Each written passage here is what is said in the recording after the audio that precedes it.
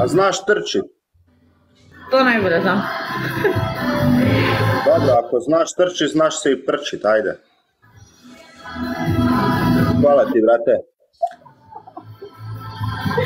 A evo me jebote. Ajmo ljudi, ajmo, ajmo, ajmo, tamo, tamo, tamo, molim vas.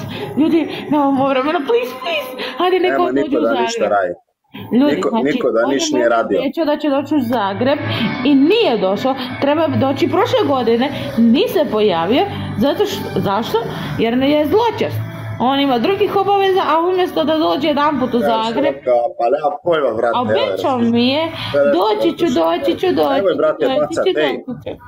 Nemoj baca, blokirat ću te iz live jebi se. Ne, molim vas ljudi, ajde molim vas, molim vas. Nemojte tapkat ni ništa. Neka on dođe u Zagreb, please, ajmo ljudi. Odite tamo nešto, bacite mu bilo kaj. Bilo šta, samo da on pobijedi, please, ajde. Ljudi, Imate još doslovce samo- 50 samo sekundi, tapčite, ajmo, ljudi. Samo tapčite, nemojte ništa. Nemojte mi to raditi ljudi. Evo. Nemoj da bi neko snajpo slučajno.